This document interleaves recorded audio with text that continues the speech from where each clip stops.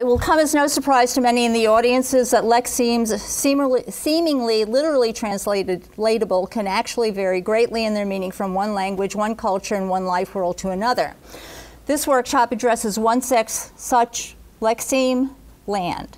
In what follows, I bracket nature in good phenomenological fashion and explore what various people, peoples and the cluster of regions here signified as the Pacific seem to mean by lexemes that have been translated into the English word land. I will use Australian Aboriginal, which is really not my expertise, but I've been intrigued with them for a long time. Highlands, Papua New Guinea, and Hawaiian materials, creating a context perhaps for what Professor Palmer will have to say about the New Zealand Maori after I speak. Australian Aborig Aborigines explain the world through creation stories. The origin of the world is rooted in something called the dreaming or the dream time, the time of ancestral figures who molded the land topographically, which was otherwise featureless, through their travels and escapades, moving across the land, creating landscape. Um, and this, these movements are recounted in Aboriginal mythology and song. Dreamtime beings are part animal, part human, neither the one nor the other, but both.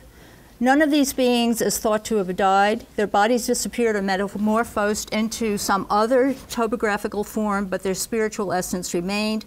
They retain ultimate control of plant, animal, and human fertility. And this is from Bob Tonkinson's book on the Mardudjara Aborigines. In the course of moving across the land, the ancestors seeded the land with future animals, plants, and humans. At sites strongly associated with particular dreamtime beings, Aboriginals performed what have been called in the literature increased rituals to assure future deals of plants, animals, and humans. So-called uh, descent rethought as serial regeneration, as well as so-called nature, are therefore manifestations of the living presence and benevolence of dreamtime beings as they continue to involve themselves in the human realm. What then is land?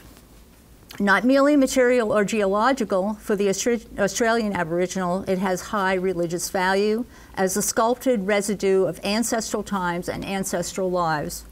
The topographical features of the land are, quote, this is from Nancy Munn's book, Walbiri Iconography, due to bodily imprints tied to ancestral events, a statement that is not, not only true of the Walbiri, but is also more generally true of Aboriginal culture.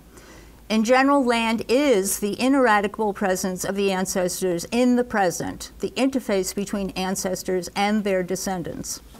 This interface between the living and the not dead, as it were, this interface is self consciously forged and dramatized in Aboriginal ritual. The mythic narr narratives recounting the events that shaped the landscape bring matter notionally into the realm of action and language, liberating these actions from the time and space of their occurrence and according them significance. The Aboriginal landscape is script, Walbiri iconography. It's kind of written language. The principal message of this script um, is that the land or landscape was gifted to humans and other species as a fertile, renewable resource. That human beings function as stewards of this resource, performing increased rituals completes the circle of the relationship. Um, in the most sacred of Aboriginal rituals, performers, typically male, decorate their skins with iconography, evocative of the heroic activities of Dreamtime beings, and they narrate these activities in sacred song. So they decorate their skin with this script, as it were. Um, you can see here some of the um, iconography. Um, it's very obvious. This indicates movement in a direction. Um, this is an icon for kangaroo, um, icon for uh, goanna, icon for emu. You might know if you've been to Canberra that that icon is on the Parliament building in Canberra. Um, dingo, and so on. Um, and then snake, obvious with the snake. Um, now I'll show you how these might look um, with respect to decoration on uh, performers' bodies. Those taking part in these rituals have their bodies decorated with sacred designs that symbolize the Dreamtime person and typically his escapades. The paintings transform participants into Dreamtime persons. They dance and imitate the behavior of these beings as if they were in the Dreamtime. Um, and then in thus embodying the ancestors, they shift from the, they shift from the quotidian interface of living on, of um, interface of living on land filled with emblems and residues of past ancestral life to a momentary fusion with ancestors in sacred time and space.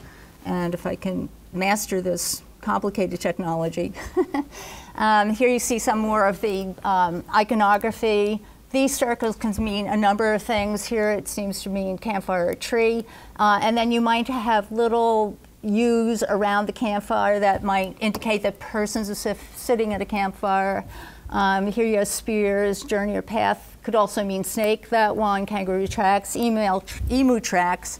Um, and uh, you will have the use of this iconography in sand paintings, also in the decoration on ritual performers' bodies, and on the paraphernalia that's used, used in Aboriginal rituals. All evokes the ancestor and the journeys of the ancestor, um, his typically escapades. Uh, and then these escapades are reflected in the landscape, which becomes script, something that narrates the journey of the ancestors. Uh, so that is what land is to them. The yield on these rituals is the continuing fertility of the earth, which is attributed to the ancestors and the benevolence of their design for human life, as well as to their descendants who cultivate that fertility through ritual performance and other acts of stewardship. Aboriginal sacred rituals activate the regenerative potential that Dreamtime beings created as they traveled across the land, seeding the land uh, with what Deborah Bird Rose has called, quote, the outpouring of the life of the country, including the people of the country. So what you have is continuing regeneration through the relationship between the living and the ancestral uh, beings. Land or country, as Aborigines refer to it, is, quote, in her words, nourishing terrain. Viewed experientially, which Aborigines themselves so clearly do, land and ritual fall on a continuum of degrees of intimacy, communication, and identification with Dreamtime beings. Through both land and ritual, Aboriginals enter into relationship with Dreamtime ancestors, whether in the unfolding presence of non sacred time uh, and ancestor descendant interface, just by looking at the landscape, um, or in the day, or by harvesting also the landscape, or in the time beyond time of ritual fusion. What the notion of dream time and its various rituals, re, ritual reenactments accomplish is to bring the land inscribed through dreamtime activity into a post-natural, necessarily homocentric world of narration and language, of purposeful activity or creation, and of interaction on a cosmic scale, a feat the book of Genesis also accomplishes. Now, moving on uh, from uh, the Australian continent, if now, if now we travel to Highlands, New Guinea, specifically to Enga and the Southern Highlands provinces, I do my work in the Enga province, as uh, we see as well that land there is not views, viewed as substance pure and simple, a datum of nature, but is fundamentally social and cosmic, the focus of and reason for a relationship between the living and the dead through which the fertility of the earth is maintained. The term sacred geography, um, which was invented by Lawrence Goldman, he will insist on that, and was then adopted by Stephen Frankel, uh, refers to a string of ancestor related sites that were in the pre colonial period linked through a sequence of fertility rituals called Dindigamu or earth magic in Huli speaking parts of this area um, akin to what's called earth straightening uh, rituals among the Duna to the west uh, and northwest. The Huli called these sites earth knots, Dindipongone. Uh, they were linked through an underground cane or rattan and associated with an underground python whose body mapped the complex ritual terrain. Ipili speakers whom I study refer to them as ukambuni, this is mentioned in the article that you apparently read for today, or ground joints, which was sometimes, as in Mount Kare, but not always associated with a python. So you have a pythonic figure that crosses ethnic um, lands, as it were, and really refers to the unity of the earth as that as a unit um, that is cultivated through ritual in ways that I'll now describe. Uh, Italy, sorry. Ritual sacrifices to maintain the fertility of the earth were performed whenever fertility seemed to lag or other events, sickness, war, undermined the health and well being of those living in these areas. In the Huli system, sacrifices seem to have been made across the entire string of sites in a fixed sequence. This may have been true among ritual sites that were mythologically connected in the Ipili speaking area as well, although I'm not sure about that. I say ritual sacrifices not just rituals because the important step taken in them was to feed the ancestral figure, snake or other, securing typically his goodwill so that in reciprocity, the land understood to be aging, its life giving vitality, flagging, would once again become regenerative. Uh, I don't know if you've read this literature, but uh, people love to talk about entropy. It's a term I hate. I don't really think it quite gets at the fact that we're talking about a biological process, uh, process uh, of life cycle. I'll focus here briefly not on a ritual that you read about in that uh, paper of mine, but on um, a ritual that was performed at the easternmost such Yukonbuni site, Nipali speaking territory, uh, at a place called Tipinini. The site is linked in Ipili myth with northern and also southeastern locations as one Yukonbuni or ground joint among many, the entire complex crossing ethnic and linguistic lines. And here I could say something about the image of the ground joint. Um, it evokes the notion of an organic body. Uh, so you have a collection of ground joints that are articulated uh, that can be mapped out on the ground and a human figure, and that has been done uh, for me. Uh, the story behind the Tipinini site is that the earth became flooded when the man responsible for controlling its level, level of water left the area briefly to attend a ritual elsewhere. When he discovered what had happened, he quickly returned and created four riverbeds to drain off the excess water, after which effort he expired. The spot where he died is a ground joint spot, and it is here that the line responsible for performing the sacrifices killed and sacrificed pigs whenever the land's fertility seemed to wane to ensure the well being of all species, human and other. I have interpreted this and other dimensions of Ipili culture in terms of sacrificial principle, uh, which is that the cost of fertility and the renewal of life is death.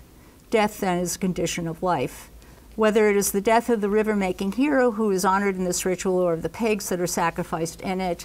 Um, in Dunaland, you get notions of human sacrifice as well uh, with respect to these rituals, the ground straightening rituals. While time does not permit my making a full case for the existence of this principle, principle, suffice it to say that I'm not the only ethnographer working in this area who acknowledges its existence. It is, my, it is, in my understanding, the principle, the cultural logic, a logic implicit not only in uh, ritual sacrifices, but also in the entirety of Ipili social organization, uh, from so-called descent to marriage, as well as in notions of pollution and related practices associated with all aspects of sexual reproduction. Amounting to the claim that land-based uh, life is mortal, this principle is rescinded with respect to the sky and its denizens, all of whom are immortal.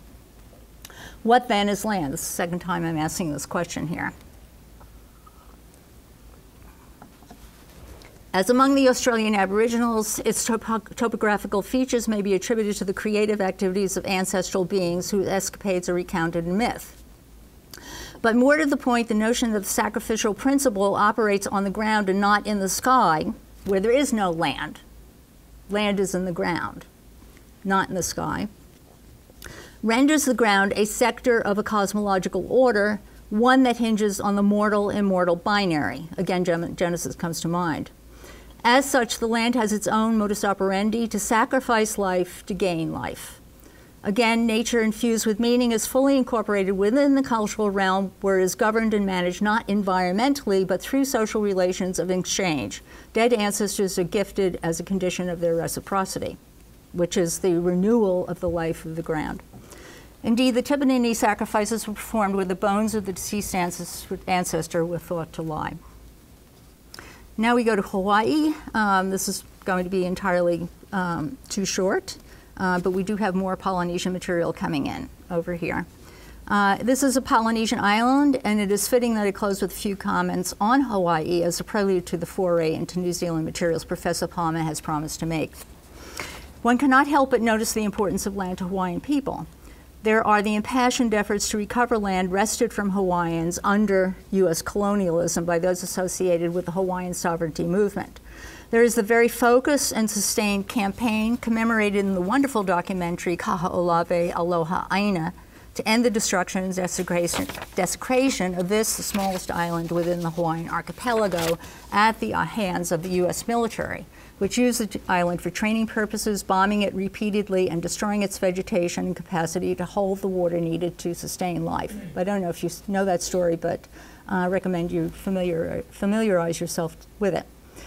Uh, the Hawaiians were successful. Bombing stopped as of 1990, and the island has since been reserved for native Hawaiian use only. The island is crucial to the Hawaiian Renaissance, uh, beginning in the mid 1970s, as it is used for the, the revival of Hawaiian traditions, the hula, navigation, and also ritual, and ritual is what I will be focusing on here. Um, I'm going to be focusing just briefly uh, on a ritual called Makahiki, which you might know of from reading Marshall Sahlins's account of Captain Cook's death. Uh, as online material generated by Hawaiian Renaissance experts has it, quote, we go to Kaho'olawe to strengthen our relationship to the land, uh, and Hawaiians do this most dramatically in their revival of the Makahiki on Kaho'olawe. Um, and if I could move forward here, these are those that iconography as art, as it were. Buy Aboriginal art, you buy this iconography. Here's Kaho'olawe, and um, this is, uh, I believe this is Maui. Um, Kaho'olawe, I believe Kaho'olawe is said to, there's supposed to be an umbilical cord connecting it with Maui, which is the maternal island. Then you can see it in the configuration of the archipelago. It's the smallest island there. Um, uh, and the Makahiki are associated with the god Lono, uh, represented over here, and this is the Akualoa, which is a symbol of Lono deployed in the Makahiki. You know from Marshall Sahlins's accounts um, that um, this looks very much like a shift, ship mast. It's part of uh, his reasoning that uh, Cook was considered to be Lono uh, when he first arrived um, because he looked like his ship looked like the Akua, Akualoa. It was a terrific setup, really, uh, that he was understood to be Lono and he arrived in the Makahiki uh, season and so on. The Makahiki is the first fruits festival. Take that in, first fruits, fertility of the earth, uh, that ran roughly from October to February. As a first fruits festival, it celebrated the god of, of the harvest, Lono, who is also god of rain and agriculture uh, through feasting, dancing, and sport, and also through ritual. A representation of Lono, the Akuloa, uh, which is already up there, was carried around the island clockwise. Uh, each community along the way paid tribute to this image in the form of pigs, taro, gourds, and other plants and mats, as Hawaiians sought in return fertility, peace, and prosperity, which only Lono could bestow. And you know that the uh, season of Lono alternates with the season of Ku. Ku is the god of war. So peace to war, war to peace. Um, those are the oppositions that are in play here. At the close of the ceremonies, a canoe was loaded with these tributes and set adrift as a present to Lono. As with the Australian Aborigines and the Papua New Guinea Highlanders, a relationship was uh, forged between mythic figures and those upon whom they showered benefits on the condition of correct ritual performance. Uh, in all cases, land is understood as temporal and eventful, the locus of history, ironically, I say that, and maintained through the relationship of reciprocity between living humans and those mythic beings who create and sustain them. Imagined in this way, land is fundamentally relational, a cosmic zone of give and take and the morality uh, thereof. And I had actually opportunity to read uh, Hunters and Bureaucrats, um, and it seemed to me that much, much of what you say there resonates with uh, this here. Um, let's see, I dare say that I've got a, a bit of a coda here. Uh, I've become very interested in Vanuatu uh, because I have a student who is doing dissertation work on Vanuatu. He's very interested in land, contested landscape, and the alienation of land that has been taking place in Vanuatu over against customary, uh, residual customary tenure. Uh, he represents uh, customary tenure side of things. He actually married in. He has a son by uh, Vanuatu uh, woman. So uh, I've gotten rather caught up in this whole thing. Uh, you might know that Vanuatu, um, as uh, Vanuatu is a new country, came into existence in 1980. Uh, it, after a uh, long colonial period under condominium with Britain and France, they divided it up in some way. They couldn't decide, sort of like um, who was it who wanted to cut the baby in the middle? they didn't want to do that, so they decided to, or maybe they did do that, um, cut the baby in the middle. Uh, the, the part of the archipelago that he represents really is um, more British than French. There is some French uh, there, but uh, it's more, more, was more under British control than French control. Um, Vanuatu, Vanua is a Polynesian word. The New Zealand equivalent is Whenua, I believe. Tonga, Tonga Samoa, you get Whanua. Um, it means land. So again, what does land mean? I have to go directly to that question again. I do not have the answers for Vanuatu. Uh, I'm coming new to this material, but some things do strike me uh, as interesting. Uh, some of the things that have not been emphasized in my talk is that land has always been important for identity purposes, ethnic identity purposes. I think this is one of the reasons Hawaiians adamant about getting their land. It's not just an economic resource, although it is that as well. It is theirs. It is their home within the cosmos. Um, and they want that back.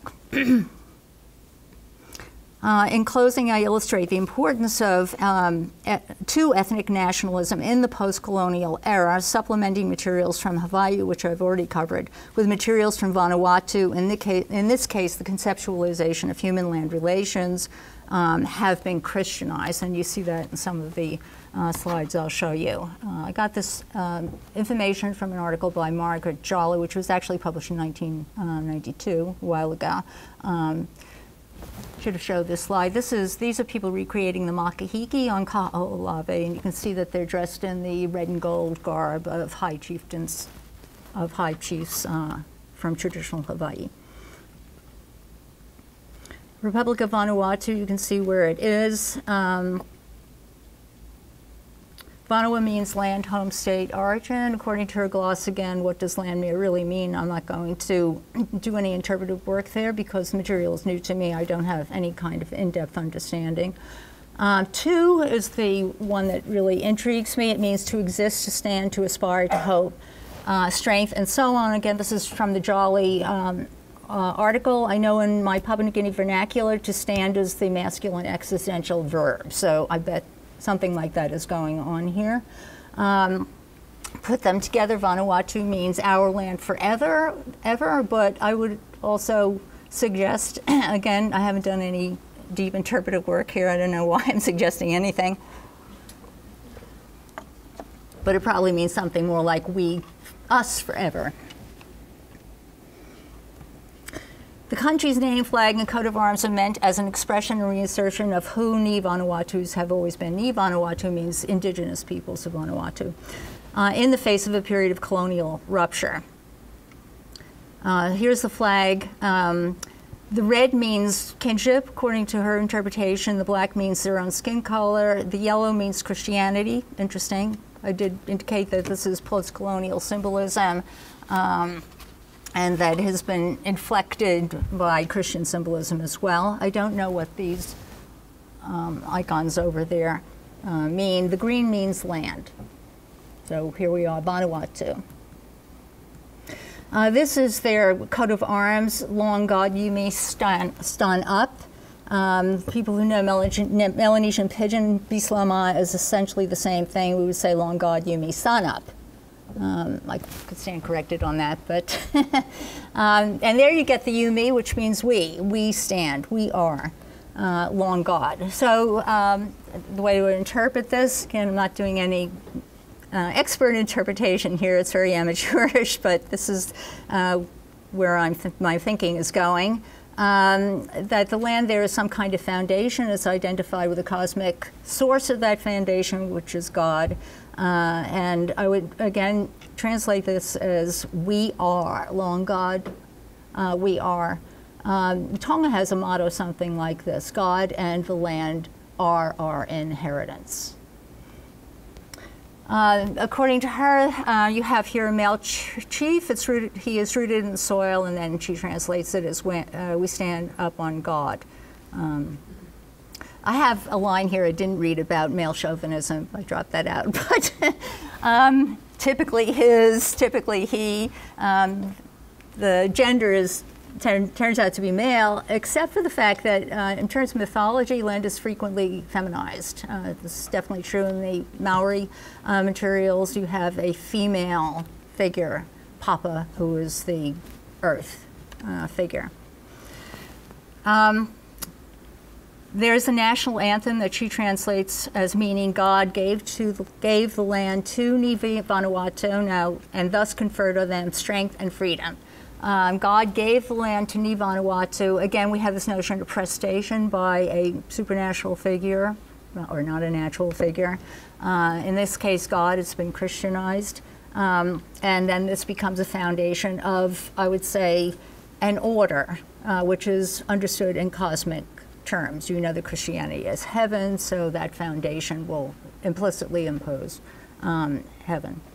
I believe this is all I have to say here. I don't think there's any more here. Oh, here we have one more. Um, this is a this was this is from a book that was written for the government on the occasion of the 10th anniversary of independence and quoted in her piece. Uh, and again, I think you can see uh, the carry over some of these themes that we've been talking about into a kind of Christian context, um, but the meaning probably being a continuum, continuation of perhaps what was there before. Our motto, Long God Ye May Stand Up, reminds us to give back to God, our Creator, in sacrifice all that He has abundantly bestowed, uh, bestowed upon us, prestation. We recognize God's mastery over our lives and proclaim that who we are and what we possess and all that is in our world belongs to God. All life, all business, all resources belong to God, and we shall endeavor to practice good stewardship. So I'm suggesting that, you know, in a post-colonial Christianized context, you can find uh, similar things. This brings you into the era of contestation, of course, uh, which is something that my student will be looking at. That's what I have to say. Uh, if you have any questions, I'd be glad to engage in conversation.